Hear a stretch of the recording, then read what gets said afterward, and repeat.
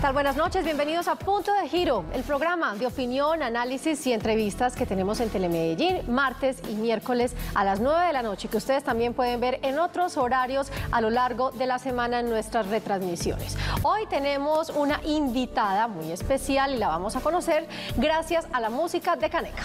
Hola Marcela, un saludo a usted y a todos los televidentes de Punto de Giro que nos ven aquí en Colombia y por internet en cualquier parte del mundo y claro que sí vamos a saludar la invitada. Tenemos una invitada bastante particular. Cuando uno habla con ella le dan ganas de estudiar. Hoy vamos a conocer su labor, su simpatía. Rectora del ITM, María Victoria Mejía bienvenida a Punto de Giro. Bueno, muchas gracias, qué bonita bienvenida. Aquí vamos a tener oportunidad de conocer mucho de su trayectoria, mucho del ITM, porque hay muchas cosas para contar, desde noticias hasta historias de vieja data, para los que han pasado por esa institución y para quienes van a entrar muy pronto. A ella precisamente es la que vamos a tener durante esta hora de programa. Vamos a conocer un poco de ella en este perfil.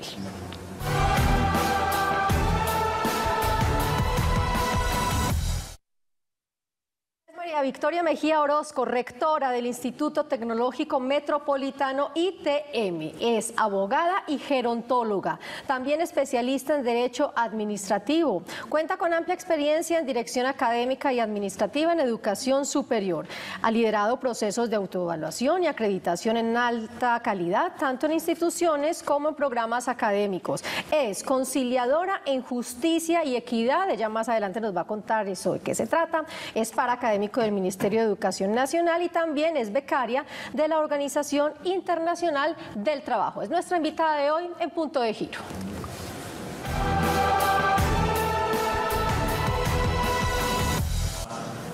Bueno, muy bien, eh, rectora, cuéntenos qué novedades hay en este momento en el ITM. Si podemos decir la noticia de la semana, lo más importante que se esté realizando allá, ¿cuál es?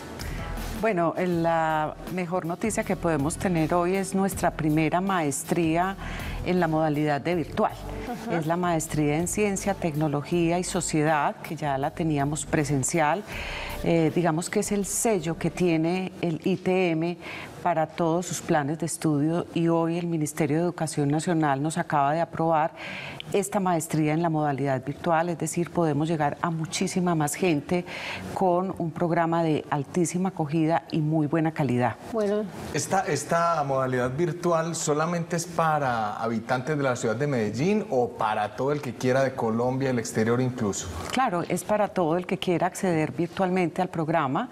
Eh, llevábamos alrededor de un año trabajando quando en este programa para ofrecerlo virtual, dada la acogida que ha tenido y la diversidad de contenidos pues, que puede llegar a tener en la modalidad de maestría. Cuando hay ese tipo de programas que son virtuales, tienen casi siempre un componente presencial mínimo, de pronto en la parte de, de sustentación o de trabajos finales.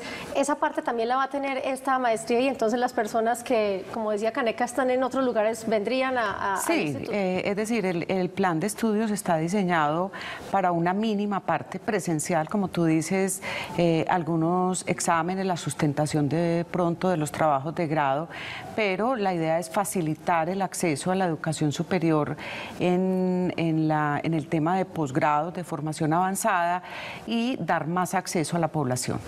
El Instituto Tecnológico Metropolitano pues alberga muchísimo joven, todo eso una abogada gerontóloga. ¿Cómo llegó a ser rectora? Cuando yo leí lo de la gerontóloga dije, ahí ya está Caneca, listo con la pregunta de gerontología. ¿cómo, llegó, cómo, cómo una gerontóloga llega a, a manejar tantos jóvenes? bueno, yo estudié gerontología en la Universidad Católica del Oriente. Digamos que fue, la famosa UCO. La famosa UCO. Eh, fue una, selección que hice muy inducida por mi papá. Mi papá siempre me dijo que la gerontología era la carrera del futuro, entonces, pues para esa época yo estaba muy jovencita y no tenía como esa, ese poder de discernir y empecé a estudiar gerontología. Son cinco años, es una carrera profesional, fue de las primeras cohortes que tuvo la Universidad Católica, dignamente egresada pues de allí. Recientemente me encontré con su rector rector, el padre Darío, y posteriormente mi familia es de abogados, muchos abogados, un sinnúmero de abogados, y esa era mi vocación. Entonces ya con mis propios recursos ya estaba yo trabajando en otra entidad que no tiene nada que ver con educación y allí empecé a estudiar derecho, derecho en la Universidad de Medellín y terminando derecho también empecé la especialización en derecho administrativo. Eh, por cosas de la vida llegué al Tecnológico de Antioquia de donde hoy soy miembro del Consejo Directivo como representante del presidente de la República y allí empecé a, trabajar en la educación hace 15 años. Digamos que allí hice parte de la escuela y ya la formación avanzada fue en el ITM porque me ha tocado pues eh, liderar varios procesos, específicamente con, como vicerrectora general, lideré todo lo que tuvo que ver con la acreditación institucional, fuimos fue la primera institución universitaria pública en Colombia en obtenerla y hoy estamos luchando por ser la primera en reacreditarnos. El próximo año entregamos documentos para la reacreditación y es también uno de los grandes retos que tiene el señor alcalde de Medellín, la reacreditación del ITM. Eh, rectora, como hay tantas historias y tanto contenido para contarle a los televidentes acerca de lo que se está llevando internamente en el ITM, eh, lo vamos a abordar durante el programa, pero aprovechando esta parte que, nos decía de haber estudiado eh, en el oriente y, hablando de la familia y de tantos abogados, queremos que también los televidentes conozcan a esa persona que está en la rectoría, está sentada al frente de la institución y que nos cuente un poquito acerca de la niñez, de qué, de qué municipio es, de dónde es su familia, pues hay, hay mucha, mucha historia y sabemos que de entrada es la mayor de los hermanos y fue casi que la mamá de los hermanos. No, no soy la mayor. No la mayor, pero considerada. no, soy la mujer mayor, porque solo somos dos mujeres, somos cinco hijos, yo soy la segunda. Eh, mi hermano mayor es mm, contador público, trabaja con el municipio de Medellín. Sigo yo, sigue otro hermano hombre, otros dos hermanos hombres y la menor, es una mujer. Eh, yo nací en Río Negro, pero toda mi vida la viví más o menos hasta los 20 años en La Ceja y por esa razón es que estudié en la Católica del Oriente. Sí, sí. Terminando gerontología más o menos en el cuarto año de la carrera, ya nos fuimos, nos vinimos a vivir a Medellín, ya los hermanos mayores trabajábamos y ya empezó pues eh, la vida laboral de, ellos, de nosotros dos y empecé yo a estudiar Derecho, me vinculé a otras entidades y es una familia pues mi papá, toda su familia de, de Aromal y mi mamá de La Ceja, es decir, muy paisas y... Y como buena paisa, pues hermana dedicada porque Conocemos de la doctora María Victoria Mejía, que ayudaba a cambiar pañales a los hermanitos menores, que inclusive los lavaba porque eran pañales de tela, sí, que los cuidaba y que también aprendió como a a ponerlos en cintura a los hermanitos pequeños, ¿es así?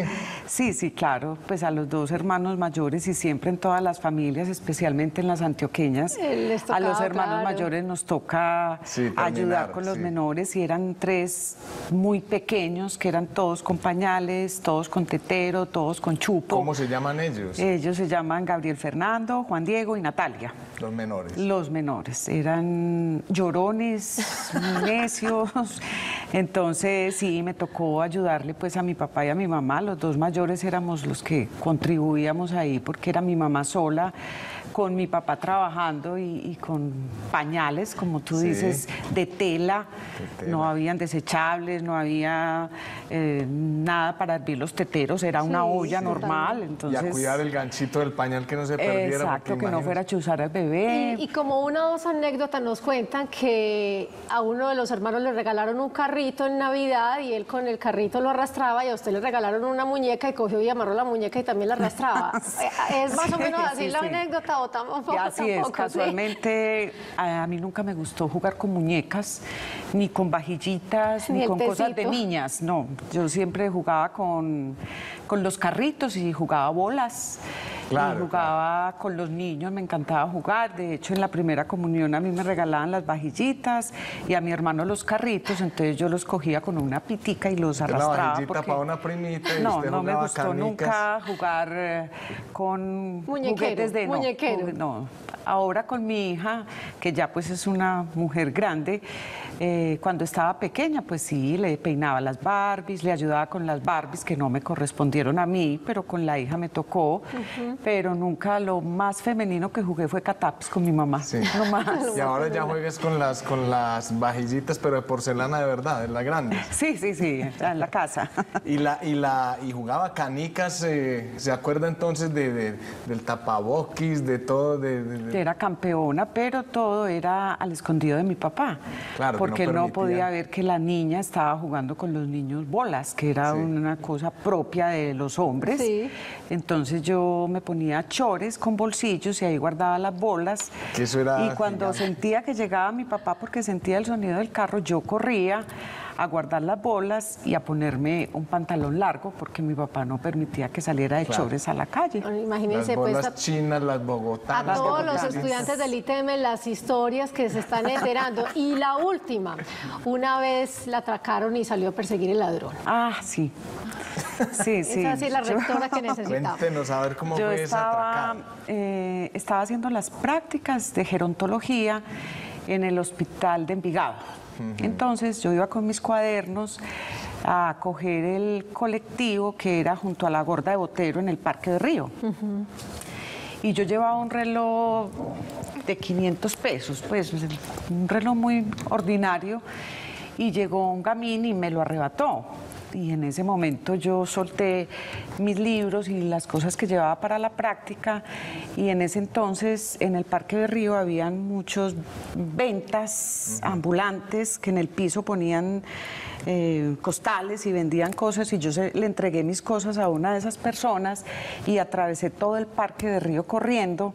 ¿En y tacones por tan el no, No, era era estudiante. Ah, bueno, estudiante, bueno. era estudiante. Entonces cogí al ladrón en el pasaje, creo que se llama pasaje Boyacá, al lado de la Candelaria, y ahí lo cogí contra la pared y yo lo cogí del cuello y, le- y él abrió la boca y de la boca sacó Eh, un reloj y lleno de saliva el reloj de 50 pesos y yo ya me devolví por todo el Parque de Río, recogí mis cosas y ya no fui a la práctica, sino que me fui para la casa porque yo después de eso me imaginaba que, que pudo haber pasado Claro, claro, el claro, susto. muchas cosas, sobre todo que los mismos, las mismas personas que me vieron dijeron que era muy peligroso porque ellos nunca andan solos y que podían haberme hecho algo, pero yo en ese momento No, son una las reacción reacciones, pero de todas maneras es de, de armas tomar. Corría Sí. muchísimo Sí, sí, entonces sí. porque esos muchachos corrían mucho. eso- Sí, sí, corría en pasado. Sí, corrían muchísimo, sí. Bueno, ¿hace cuánto está en la rectoría del ITM? Bueno, cumplí tres años ahora en agosto. En realidad yo empecé como encargada en el mes de junio de 2015, ya se surtió el proceso para la elección de rector y yo quedé elegida el 19 de agosto de 2015. Bueno, dentro de las funciones que, digamos, le corresponde a una rectora, pues uno dirá, ah, no, sí, solamente firmar papeles o esto, pero me imagino que usted dentro de su gestión ha, ha emprendido procesos de autoevaluación, porque yo eh, conozco que los mismos estudiantes también allá evalúan los docentes y todo esto, les permiten como una, democracia, como que digan, bueno, esto está funcionando, esto no. ¿Qué, qué logros y qué retos ha tenido en, en esta gestión de los tres años, María Victoria?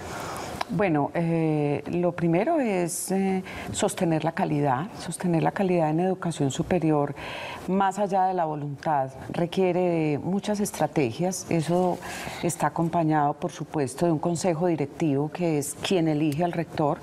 Ese consejo directivo presidido pues, por el alcalde de Medellín han puesto todo de su parte para lograr lo que hoy tiene el ITM. El ITM hoy es modelo en el Ministerio de Educación. Si ustedes van a Bogotá, todos los rectores de instituciones universitarias como lo es el ITM, a todos les ponen como referencia esta institución porque de verdad que hemos crecido bastante y, y, nos hemos visibilizado no solo a nivel local y regional, sino nacional e internacionalmente. Eh, nosotros en este momento contamos con muchísimos estudiantes del exterior que están haciendo pasantías o cursando semestres en el ITM. A su vez, el ITM tiene muchos estudiantes también en el exterior nos hemos, mm, digado, nos hemos fijado como estrategia eh, la internacionalización, buscar que los pares internacionales nos reconozcan y esto pues ha, requerido de mucha inversión, no solo en el en recursos humanos, sino también en recursos financieros, pero el ITM con, con el papá que tiene, que es pues la alcaldía de Medellín, siempre ha estado acompañado y siempre ha sido pues su padrino y su legitimador en todas las instancias. Tenemos aquí eh, cifras que son muy interesantes, rectora, y es que uno siempre tiene la un ITM, pero vemos que son cinco campus en la ciudad. ¿Dónde están ubicados? Porque uno tiene visualizado uno, máximo dos, pero se, da cuenta de lo que, que, se amplía de una forma rápida, incluso son cinco y una sede. Sí, exacto. Nosotros estamos ubicados hoy ya casi que en todos los sitios eh, de Medellín. Estamos en el norte con Castilla Allí hay estudiantes, unos 700 estudiantes.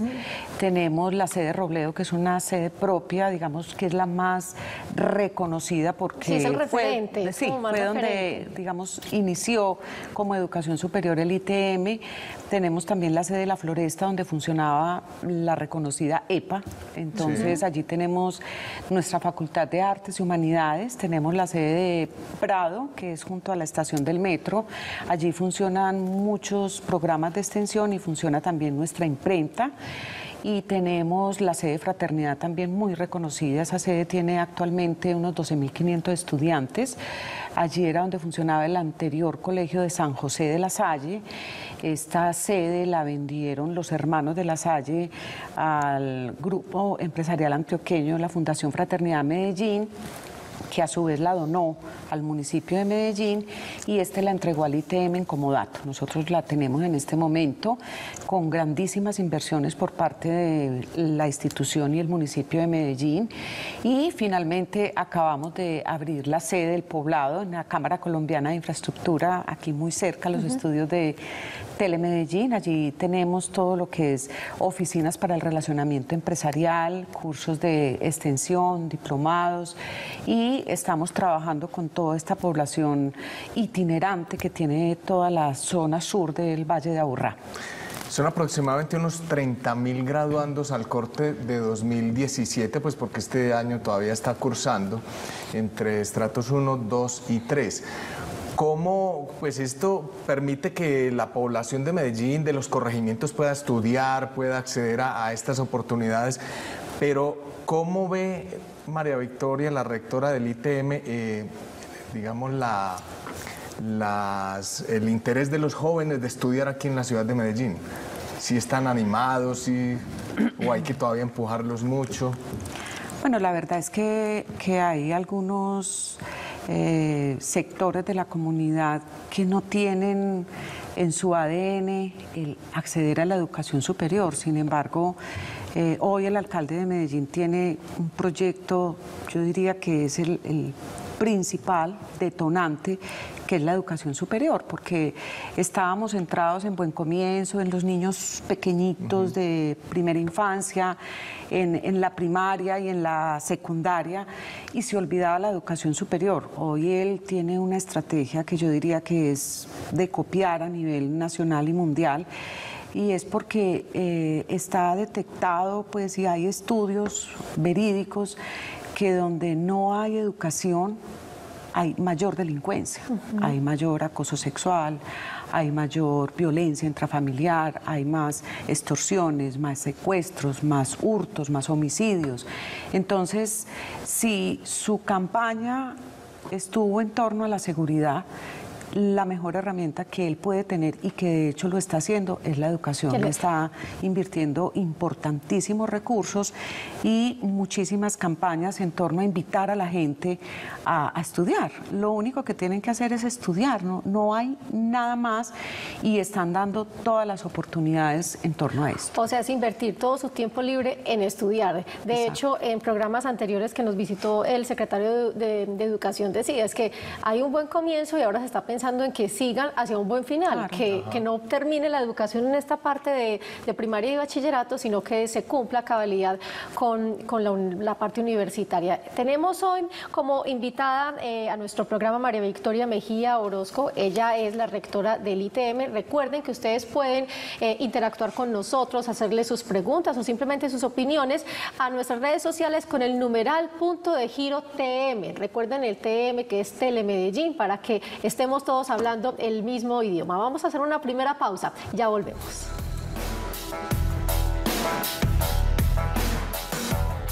Estás viendo Punto de Giro.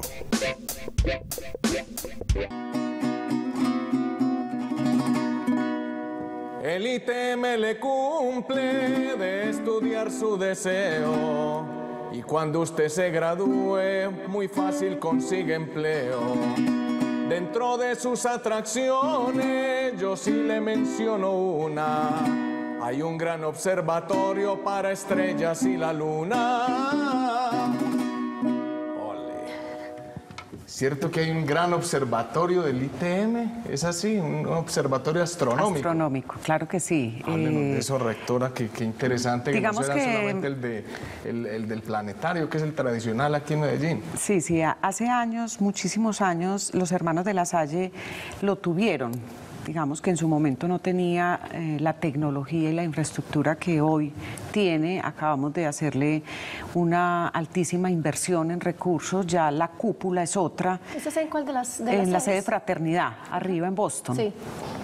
Eh, de hecho, acaba de terminar ayer un simposio internacional de astronomía, donde estuvo pues el ITM como anfitrión en su observatorio digamos que es, una cosa con unos equipos de, altísima tecnología y que también está siendo utilizado para actividades académicas en distintos programas académicos de la institución. Entonces, además de contribuir también con el planetario, estamos de la mano con la Universidad de Antioquia, nuestros estudiantes también tienen algunas actividades académicas en algunos programas allí en el observatorio. Y empecemos entonces a entrar un poco a hablar de esos programas estos programas de pregrado que ofrece el ITM, que son cerca de 28 programas y 13 programas de posgrado. Empecemos con los de pregrado. ¿Cuáles son? siquiera 26.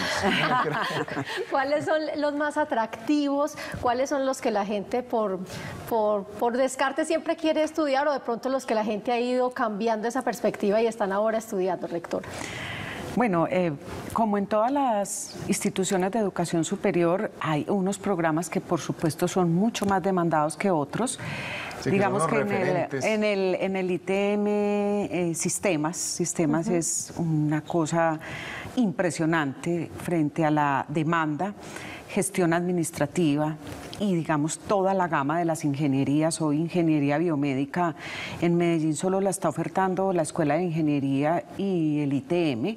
Ambas lo tenemos acreditado, entonces eh, es un programa de altísima demanda. También en la Facultad de Artes no damos abasto por todo el programa de, toda la oferta que tiene la facultad, pero está el programa de cine, que es el primero en Medellín, el primero en Antioquia, muy pocos en Colombia, entonces esa parte de, los artistas y, de la economía naranja, entre otras, eh, eh, ha cautivado muchísimo la oferta del programa de cine por parte del ITM en ciencias económicas, también pues eh, gestión administrativa, todo lo que tiene que ver, las maestrías que tiene son altamente demandadas, entonces mm, hay muchos que son más demandados que otros, pero En general, cada una de las facultades, digamos que tiene su, su encanto en cuanto a los programas. Eso, eso cómo hacen precisamente eh, en los colegios, reciben mucha información eh, sobre las carreras y empiezan a hacer esas visitas a las diferentes instituciones. Pero, por ejemplo,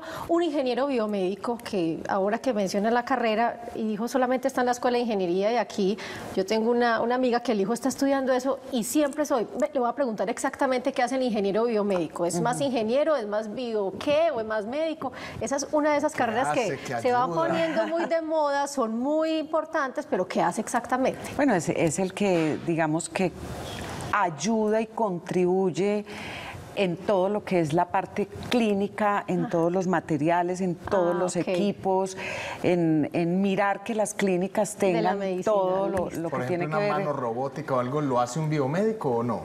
puede hacerlo un biomédico. Igual pues en, en la gama de las ingenierías lo puede hacer un mecatrónico, un electrónico, pero digamos que la biomédica está más enfocada hacia, Hacia el área de todos los equipos de instrumentación, porque además tenemos la tecnología en mantenimiento de equipo biomédico. Sí. Esa tecnología es la que ayuda al mantenimiento de los equipos. Entre tanto, el ingeniero que tiene un nivel diferente de formación está pensando en cómo inventarse los equipos. Lo que tú dices, la mano robótica, el pie robótico, todos esos Me- aspectos de la ingeniería. Me hizo en pelicular con ese programa del cine, porque anteriormente, pues aquí no había dónde estudiar eso. Algunos se iban a Bogotá, algunas nociones, o a estudiar a Argentina o a Europa. Y eso fue una de las cosas que nos dijo, se acuerda que usted estuvo con nosotros en un programa y nos decía, ya no se tienen que ir para Bogotá, ya, no se, Exacto. ya no se tiene que ir de la ciudad, está aquí. Está aquí en ¿Cómo Medellín. les ha ido? ¿Cómo Muy ha bien, sido, muy bien. La- ¿Cuáles han sido esas experiencias que se la pueden demanda contar? pues es altísima, lo que pasa es que no podemos recibir a todos los que se presentan.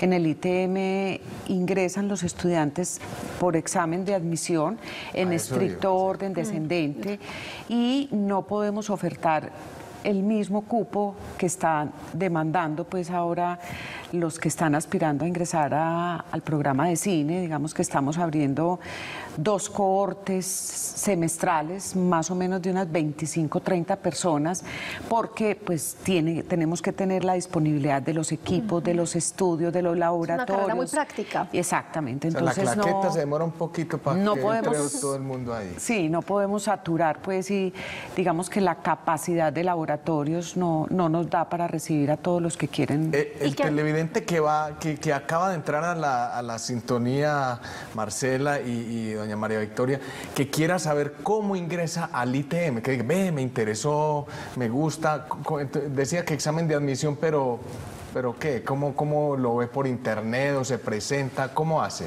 Sí, ahí debo hacer una aclaración. Hay algunos programas, por ejemplo, cine, que no es solo el examen de admisión, tiene que haber una prueba de aptitud, sobre todo en aquellos programas de artes y humanidades, porque está informática musical, entonces tiene que mirar el oído, está artes visuales, están muchas eh, carreras, muchos programas que requieren de otras aptitudes diferentes a lo que se valora en el examen de examen, admisión. Pues Sí. Pero para- Spielberg, muéstreme a ver que usted sí, Sí, tiene sí, aptitudes sí. para eso. Sí, claro, lo ponen a cantar. Por ejemplo, tú tienes actitudes porque ya has cantado, ¿cierto? Ave María. Eh, para ingresar al ITM es solo consultar la página web, es www.itm.edu.co. Ahí ve todo el proceso de inscripciones. Estamos hasta el primero de noviembre en inscripciones, hasta el 31 de octubre. estamos en las semanas Se clave. vende- sí, se venden eh, el PIN que se adquiere en el Banco Popular, tiene un valor cercano a los 56 mil pesos y ya eh, sigue todo el proceso. Ahí tiene una guía, una ABC de cómo hace todo el proceso para la credencial, para el examen de admisión y todo lo que tiene que ver con ingresar al Y, y antes de, de seguir con las otras, eh, con los otros programas, eh, un poquito de lo de cine que nos, que de pronto se nos quedó ahí en el tintero. Eh, historias o ya anécdotas que haya habido con estudiantes de, de cine en Medellín, ¿cuáles? No, claro, acaba de presentarse un grupo estudiantes de segundo semestre de cine de el ITM a un concurso nacional en Bogotá y ganaron. Ah, qué bien. es pues mm, porque es gente que tiene pues toda esa vocación acaban de ganarse el premio y el premio pues es en, en recursos para la misma institución, para el mismo programa. Estamos pues en el trámite de firmas de el convenio que hay que firmar, pero eh, muchas experiencias, muchas expectativas. Eh, tenemos el acompañamiento de Víctor Gaviria, que es pues un reconocido y que digamos ha sido uno de los padrinos de del programa de cine, también unos concejales que han estado muy, muy enfocados hacia esos temas de artes, eh, han sido también abanderados de la política de cine que acaba de adoptar el municipio de Medellín por iniciativa justo de, unos concejales. Entonces, digamos que el municipio ha, también eh, enfocado algunos de sus propósitos hacia este tema de la política de cine en Medellín. ¿A qué se debe la empleabilidad del egresado del ITM, que las empresas dicen, uy, yo, yo quiero este muchacho para acá, ¿por qué? ¿Por qué? Pues se, da más fácil que, en otras, que con otras instituciones. ¿Se preparan ahí algo específico dentro, de, los programas? A ver, eh, nosotros hemos buscado...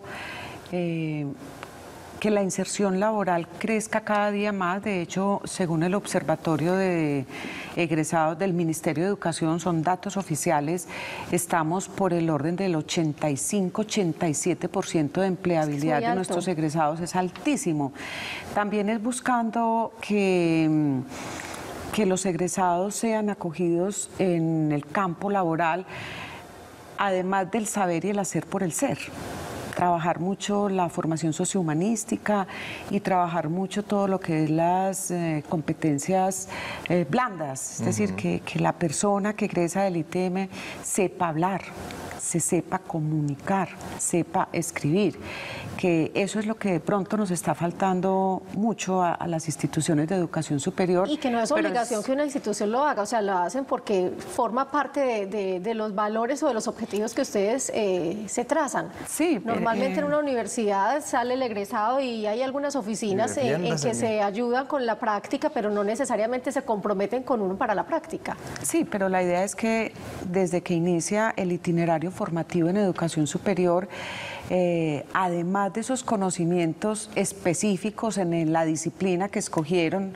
que no sea solo que, son muy buenos ingenieros y saben hacer muy buenos puentes, sino que sean buenos seres humanos. Entonces, hacia allá le apuntamos. ¿Por qué no pensar en hacer un puente, por ejemplo, en febrero y uno en septiembre que no tenemos y que sean los del ITM los que los hagan de una vez? Sí, sí, sí, sí. sí, está bien. Como, como buenos seres humanos. También está la parte eh, deportiva que es complemento de la labor académica, es muy fuerte también en el ITM. Sí, tenemos eh, eh, bastante medallería, hemos ido progresando año a año en, en, los distintos campeonatos y eventos deportivos que se dan. Acaban de terminar los Juegos Interuniversitarios Nacionales de Ascún, ahí estamos mirando a ver cómo, cómo nos fue, evaluando, porque participamos pues muchísimas universidades. No obstante, también hay que decir que el ITM tiene unos espacios deportivos absolutamente generosos. Acabamos pues de inaugurar el año pasado, justo pues con el doctor Federico, el, alcalde, la cancha de fútbol profesional y todos los escenarios donde ahí reconstruimos todo lo que son las piscinas que tenía el Colegio San José, una piscina semiolímpica, tenemos el pozo para buceo, tenemos un bloque nuevo de bienestar y ahora viene la apropiación de unos nuevos recursos en unos 15 días, más o menos un mes. Iniciamos una tercera etapa de todo lo que son espacios deportivos y algo muy importante para la ciudad, que es la conexión de la sede del ITM en fraternidad con el tranvía Miraflores. o sea, es que el estudiante no tiene disculpa de decir, no, es que estoy muy ocupado, tengo el hijo, no, porque hasta tienen aula pedagógica infantil para el, cuidado de los pequeños, ¿cierto? Ese sí es, eso, sí nos dejó a nosotros. Eso es una cosa bellísima porque Parte de, de, lo que nos arrojaron los estudios de la deserción de los estudiantes estaba justamente en la maternidad o en la paternidad. Entonces, eh, se están embarazando muy jóvenes o aunque no sean jóvenes, pues no tienen quien les cuide o en los, el o los, bebé. o los que hacen posgrado, por ejemplo, que es gente de Claro. más edad y ya están en, en- teniendo una familia. teniendo una familia, entonces por estar cuidando al bebé no podían volver a clase. Entonces era una de las causas de deserción. Entonces tenemos el aula pedagógica, tenemos la de Robledo que viene funcionando desde la anterior administración y ahora recientemente inauguramos la de eh, la sede de fraternidad es una cosa espectacular con todas las, los, eh, las exigencias que traen pues para tener los niños porque están allí desde los seis meses, los hijos de los estudiantes, eh, ellos, eh, ¿Cómo funciona exactamente? Es ellos tienen que tener unas calificaciones, un promedio. Ah, muy bien. Eh, y, y tienen algunos compromisos, como por ejemplo no faltar a clase. Porque si yo le estoy teniendo el niño, se lo estoy cuidando, usted no me debe faltar a clase. Sí, sí, pues. por favor. Exacto, deben conservar el promedio académico y adicionalmente deben visitar al bebé o al niño mínimo una o dos veces al día durante su estadía pues en, en la institución para que también tenga ese acompañamiento. Los niños están eh, al cuidado pues de personas profesionales en todo lo que es infancia, adolescencia, en todo lo que es la norma, todo lo que es la motricidad, las- los primeros aprendizajes. Es de verdad una experiencia ¿Y hermosísima hasta que qué tiene. rectora, están entonces ahí? Porque entonces no están en, eh, estudiando, no están en- Tres en años, época- hasta ya. los tres años, pero tienen actividades académicas también desde que inician, pues desde los ocho, diez meses, empiezan pues lo propio de la primera infancia. Pero esto, esto no es buen comienzo, o sea, o hace parte de buen comienzo. Es A ver, un ala de buen nosotros, comienzo. nosotros trabajamos de la mano de, mano, buen sí, con comienzo. todos los Digamos, las políticas son las mismas, solo que esta política está enfocada más hacia el tema de evitar la deserción de los estudiantes Ah. en educación superior. Muy bien, muy bien. Entonces, bueno, estudiante ya sabe que no tiene disculpa, Sí. puede ir a presentar sus exámenes o hacer su deporte, lo que quiera, y tiene los niños eh, ahí muy bien cuidados y muy bien asesorados. Estamos con María Victoria Mejía Orozco, rectora del ITM. Usted puede participar en las redes sociales con el numeral punto de giro TM. Vamos a hacer una pausa institucional y ya regresamos.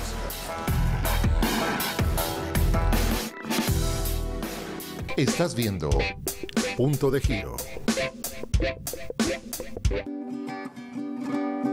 El ITM propicia que haya investigación y también mucha docencia y también buena extensión. Por eso es que el ITM evita la deserción y así la ciudad logra muy buena transformación. Siguiendo esta conversación con la rectora del ITM, antes del corte hablábamos de los programas de pregrado, que son 28, y tenemos pendiente hablar de 13 programas de posgrado y un doctorado. Los de posgrado, ¿cuáles son los más apetecidos, rectora? Bueno, eh, como les decía ahora, frente a los pregrados, digamos que eh, hay unas preferencias. Hoy, por ejemplo, la especialización en formulación y evaluación de proyectos es, una, es un programa que es transversal a cualquier área del conocimiento y muchas empresas lo están demandando.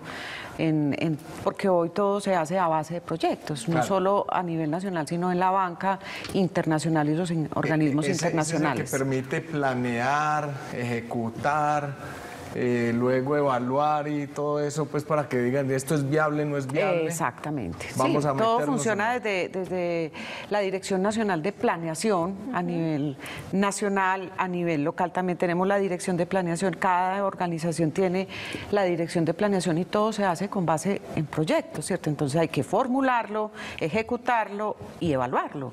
Esa es la especialización, pues, que es Muy de bien. altísima demanda, pero adicionalmente, pues, tenemos dos especializaciones, y la de finanzas.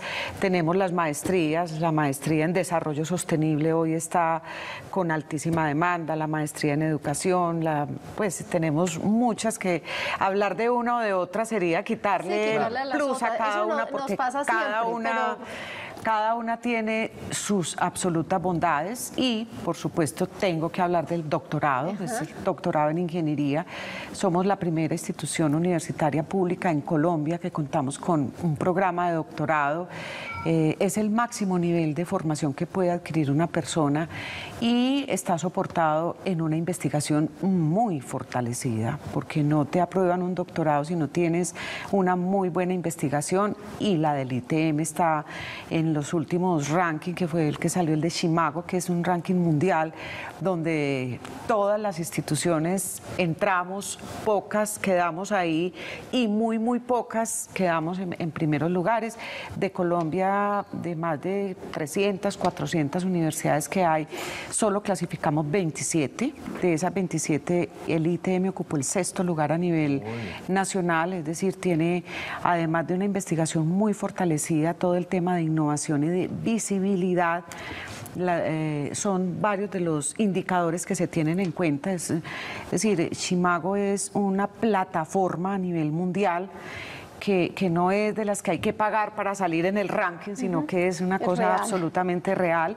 De hecho, fue presentada por la Universidad de los Andes todos los resultados eh, los, los, presentaron en los Andes y de verdad pues que eso nos tiene muy complacidos porque tener una institución universitaria del municipio de Medellín eminentemente pública con una cantidad de estudiantes como las que tiene y lograr tener el doctorado y posicionarnos internacionalmente con el sexto lugar en Colombia es una cosa muy, muy buena. Y que es, definitivamente algo que, no es gratuito. Se trabaja en, en tres frentes por decirlo así, eh, muy fuertes, que son la docencia, la investigación y la extensión. Esa investigación y extensión son determinantes para, para tener esos logros, rectora. Sí, claro. Eh, a ver, son los ejes misionales de la educación superior, la docencia, la investigación, la extensión, pero también está la proyección social, es decir, el impacto social que genera la educación superior en una comunidad determinada, es decir, es construir tejido social, porque cuando las personas tienen tienen a, algún miembro de su familia en educación superior, la vida se transforma porque va a ser el profesional, que además de generar unos mejores ingresos es el posicionamiento familiar y todo lo que eso conlleva, ¿cierto? Entonces, eh, la proyección social, igual que la docencia, la investigación y la extensión, también se constituyen uno de los ejes misionales para la educación superior.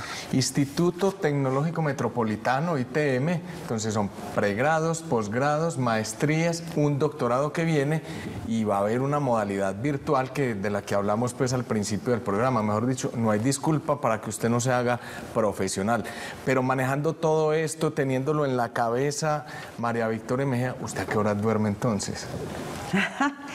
Yo duermo desde las 10 de la noche hasta las 5 de la mañana en días laborales. Y cuando no son laborales, yo duermo todo lo que pueda un fin de semana. No hay nada que me desvele ni me quite el apetito. O sea, Afortunadamente. Que le guste más que dormir. no hay nada, no hay placer igual, no lo conozco. Pase lo que pase, a las 10 de la noche se durmió. No, puedo dormirme a las 11, pero no me desvela nada puedo tener la pena más honda y no me desvela ni me quita el apetito. Entonces creo que por eso tengo salud, gracias a Dios. Bueno, pero de todas formas, ¿qué es lo más difícil de ser rectora? De pronto los estudiantes, las nuevas tecnologías, estar con ellos, por ejemplo, no, ni siquiera eso, por ejemplo, estar delante de los estudiantes, apaguen el celular, no me chateen, no chateen, no le chateen a los profesores en clase, cositas ya muy puntuales de la vida interna de, de una institución y que maneja también el rector. ¿Qué es lo más difícil, por ejemplo? Bueno, lo más difícil es la responsabilidad de las personas que estás formando, es decir, formar personas de bien. Por eso repito que es muy importante que obtengan los mejores puntajes en las pruebas Saber Pro, que sean los primeros y que los eh, condecoren en la noche de los mejores del Ministerio de Educación, que casi siempre hay estudiantes del ITM a nivel nacional, y, y que tengan los premios de investigación que también casi siempre se los ganan en el municipio de Medellín pero más allá de eso es el ser humano que necesitamos, es decir, una persona que le haga bien a la sociedad no solo con su saber, sino con su ser. Usted decía que no la trasnocha nada, pero yo sé que a usted la trasnochan los perfumes, a usted le gustan los perfumes, bastante, ¿no? Sí, sí, sí. Sí, me gustan mucho, me gustan mucho, pero no me trasnochan. Y, y, un día, y un día normal, pues que esté, que no tenga nada que ver con, con la educación, eso, ¿cómo es un día de María Victoria Mejía Orozco? Que diga, me voy para cine o me pongo a leer, me voy para piscina, salgo con mi hija. ¿Cómo es un día que no tenga... O se, va, o se va para donde las tías, porque son varias O tías. al oriente. Sí, sí, tengo las, las tías. Las típicas que tías son- que van a ver el programa Sí, esta sí, noche, sí, las podemos saludar y todo. Las tías, Olga y Margarita, que están acá, y otra que está en Cali, Luz. Pero eh, un día normal que yo no esté trabajando, si no estoy durmiendo, muy seguramente No estoy la vayan a llamar. en la finca, en la finca, en la finca en el oriente antioqueño. Y ese para mí es el paraíso, ese es mi sueño cuando me jubile, poder estar allá y descansar. Y lo más pesado que voy a leer es TV y novelas. No más, ya es, Ya de- ya es Sí, suficiente. porque ya entre suficiente. proyectos, maestrías, posgrados, pues ya, No, ya, qué ya más es, técnico va a leer, es ¿no? suficiente. Ya estudié y ya propicié el estudio para muchos ciudadanos de Medellín. Eh, rectora, hay una frase que ya han mencionado varias veces durante el programa y es la proyección social. Estamos hablando de la parte académica, de los programas académicos, de tantos logros, pero esa parte de proyección social se ve que la tiene muy, muy clara y, cómo se ha sentido en la ciudad de Medellín ya como tal, esa proyección que tienen eh, los estudiantes del ITM. Pues eh, el solo hecho de la inserción laboral es un indicador contundente para mirar lo que eso ha impactado un proyecto de vida de una persona que irradia a todo su grupo familiar, porque entonces estar en un barrio de Medellín donde ni el papá, ni la mamá, ni los tíos, ni los abuelos estuvieron en la educación superior y de pronto con las oportunidades que hoy está dando la alcaldía de Medellín, poder decir, mi hijo estudia y no le cuesta nada y tiene facilidades en el metro porque los pasajes tienen la cívica que es más favorable, tienen complemento alimentario, tienen quien les cuide los bebés, tienen ahora el fortalecimiento del transporte público masivo con el metro, con el tranvía con el metrocable y ahora con la conexión en el ITM, el tranvía de Miraflores, tienen en Cicla, es decir, tienen todo a la mano. El que no quiera, el que no estudie es porque no quiere, pero está todo dado por parte del municipio de Medellín y todas las entidades que de una u otra forma contribuyen, el área metropolitana, el metro, las instituciones de educación superior, tienen todos los jóvenes de Medellín para acceder a la educación superior con calidad. Siempre vienen de muchas partes a, a ver muchos de los modelos de, de educación, de infraestructura, en fin, que hay en la ciudad, pero ese de la conexión con el tranvía es de verdad muy atractivo y, y- y con seguridad que ya muchas de las personas que vienen a hacer estas visitas lo tienen en su radar. Ampliemos un poquito eh, ese- esa Sí, experiencia. eh, a ver, nosotros tenemos la sede de fraternidad con un solo ingreso. Y hacia la parte de atrás, que tenemos eh, la Escuela Beato Salomón y una de las eh, ludotecas del INDER, no es sino pasar una callecita, atravesar un puentecito y llega uno al tranvía, a la, estación del tranvía. Entonces, con recursos que llegaron de la Nación, con el aporte del municipio de Medellín y del área metropolitana, y el ITV pues también con recursos propios destinó una inversión alta para hacer esa conexión. Van dos ascensores porque es bastante empinado el terreno para garantizar pues la movilidad reducida y, va la conexión desde la parte inferior de la sede Fraternidad en la parte de atrás con toda la estación, no es sino caminar un, trayecto muy corto, allí está involucrado pues eh, el Metro de Medellín con las intervenciones, eh, la Secretaría de Movilidad con todo lo que es semaforización y señalización, está el eh, infraestructura del municipio de Medellín y, y la alcaldía pues está de frente porque además esto contribuye muchísimo a mejorar la movilidad porque el transporte está colapsado, sobre todo en horas picos. En nuestra sede entran de manera simultánea cerca de 2.000 motos, más el transporte de mm, vehículos Estamos pensando que esto impactaría a una población cercana a las 10 o 12 mil personas, contando contratistas, empleados, profesores, estudiantes, egresados, gente que visita la sede y que lo puede hacer ya perfectamente por el tranvía, ingresa directamente a la Incluso sede. se va a volver el lugar turístico, porque todo lo que, Claro. lo que la gente visite en el metro, metrocable, tranvía, empiezan a referenciarse y, y se va volviendo ese lugar que en Medellín la gente sabe que el ITM queda en esta parte cuando se viene a, a Claro, visitar y, la y ciudad. la, la visita que puede hacer además al Observatorio Astronómico está también Claro. el Museo de Ciencias Naturales, que es el único de centro de ciencias declarado por Colciencias recientemente. Esto es, pues, hay unas especies únicas en el mundo y, y la gente quiere ir a visitarlo, pero el transporte es muy complejo. Ahora con esta conexión creo que va a ser un éxito. Eso es como un álbum de una reconocida marca de chocolatinas, pero de verdad, ¿cierto? Sí, Exactamente. Sí, exacto. Bueno, y, rápidamente, rectora, ¿qué se viene para el ITM? Bueno, lo, lo primero y el norte, no solo del ITM, sino también del alcalde de Medellín, porque está en su plan de desarrollo, es la reacreditación institucional, porque eh, es muy probable que la acreditación no te dé muchos favores como institución de educación superior.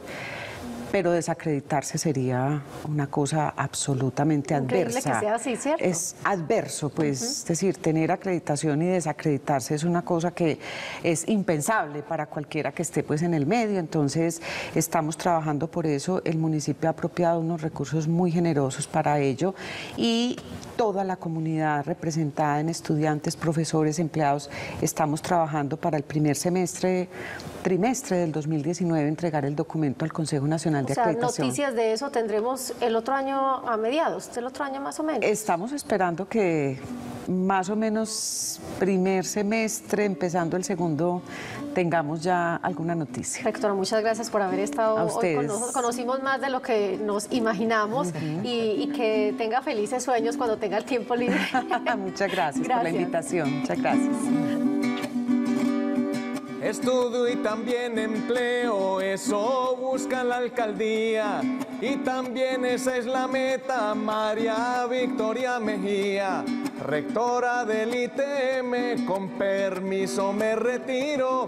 Nos vemos en ocho días en otro punto de giro. Muy bien.